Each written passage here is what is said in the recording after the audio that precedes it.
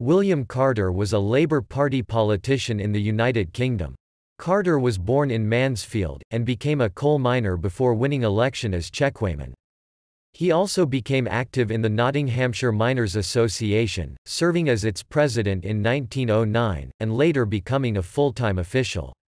He also served on the executive of the Miners' Federation of Great Britain. Carter was a supporter of the Labour Party, and was elected to Mansfield Town Council.